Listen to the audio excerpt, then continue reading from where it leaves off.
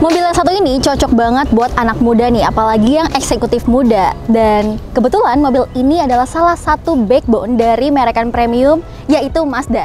Nah, tapi kenapa ya mobil ini bisa jadi salah satu backbone dari Mazda? Simak terus video berikut ini. Jangan lupa like, comment, share, subscribe di channel otomotif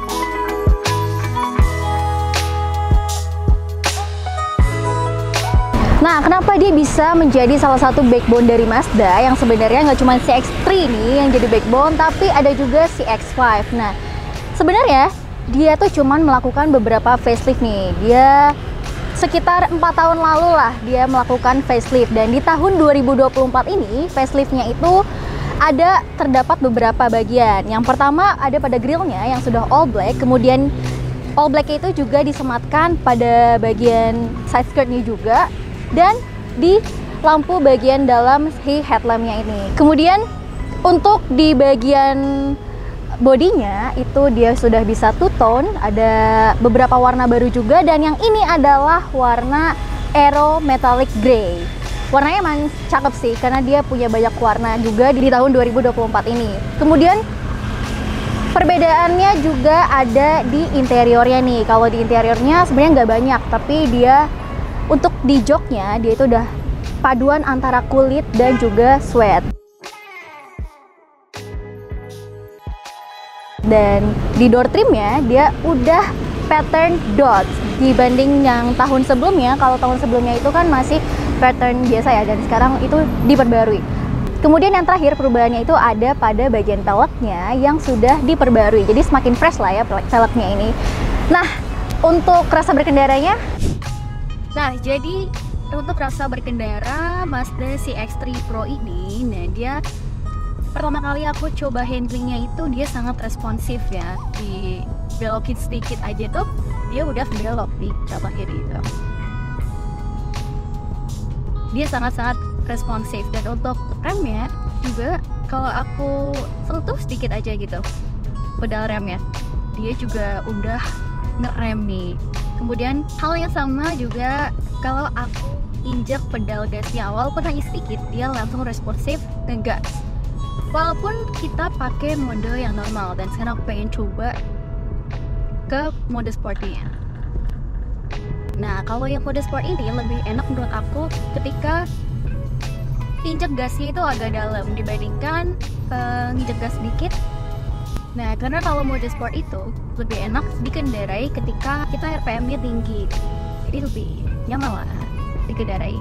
Terus plusnya nih dia juga ada pedal shiftnya. Jadi ini memudahkan driver kalau kita mau naik turunin giginya. Nah untuk visibilitasnya ini aku benar-benar gak kehalang sama sekali walaupun dengan pilar-pilarnya ini aman.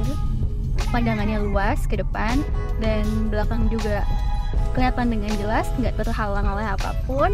Dan mobil ini dari segi dimensinya meskipun di dalamnya berasa sempit ya tapi karena mobil ini menyajikan kenyamanan dan fun to drive tentunya jadinya ya aku berasa kalau di dalam mobil ini ya dynamic drivingnya tuh ada di mobil ini. Jadi nyaman untuk dikendarai pastinya untuk menunjang um, Fanto Drive tadi, mobil ini memang dibuat suspensinya agak keras. Nah, untuk menunjang si mesinnya yang 2000 cc dan biar gak limbung nih saat diajak bermanuver. Dan untuk posisi berkendaranya ini sangat nyaman ya aku di sini dan benar-benar sporty banget karena dia yang pertama dia bisa di naik turunin terus wajib mundur ya udah elektrik juga tapi untuk penumpang di bagian kiri belum di mobil ini juga udah terdapat Active Sense nih dari Mazda. Dan itu adalah beberapa safety feature lah dari Mazda ini. Jadi yang pertama tuh ada misalkan ada blind monitoring system kemudian ada lane departure alert ada rear cross alert kemudian juga cruise controlnya nih. Sih. yang ini udah adaptif sih yang sebelumnya kan eh, belum ya dan yang ini udah adaptif. Jadi kalian bisa ngatur jaraknya dengan mobil tempat tuh berapa. Dengan kecepatan minimumnya 30 km per jam ya. Kemudian juga ada driver attention alert. Jadi ketika kalian berkendara di atas 65 kpj sampai 140 kpj itu kalau sensornya ini sensor di depan sini akan melihat uh, si driver nih apakah dia capek atau enggak gitu. Dan dia akan memberikan alarm. Namun sayangnya nih ketika kita coba lane departure-nya itu dia gak ngoreksi secara otomatis untuk setirnya tapi dia memberikan alarm ke head display-nya dan ada alarm melalui suaranya juga tapi di adaptive cruise control ini sayang banget dia nggak ada fitur seperti lead keep assisting jadi ya tangan kita tetap harus stay di steering tapi ya nggak tahu juga ya siapa tahu bakal ada di facelift yang berikut.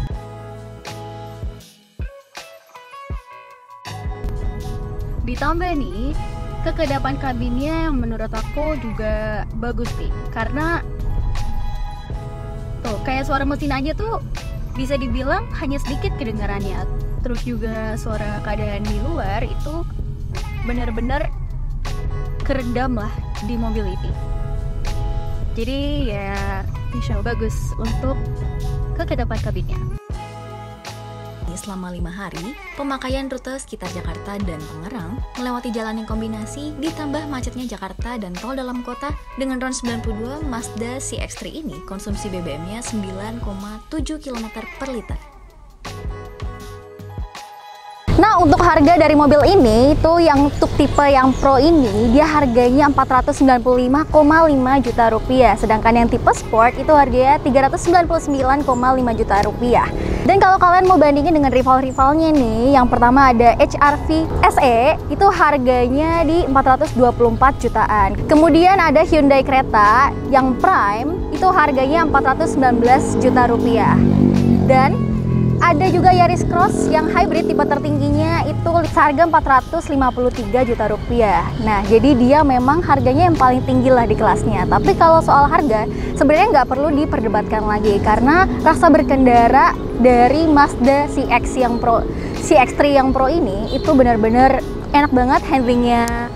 Oke, terus suspensinya ya walaupun dia keras, tapi kerasnya itu membuat nyaman lah kita di mobil ini. Nggak kalau misalkan bermanuver pun dia body roll kita nggak kebuang banget gitu. Jadi overall mobil ini oke okay banget. Dan mesinnya juga 2000 cc.